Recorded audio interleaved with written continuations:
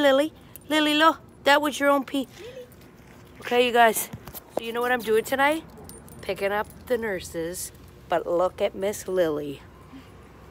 Look at Miss Lily. She's across the street with her mom. What a fab. This is God. God brought Lily.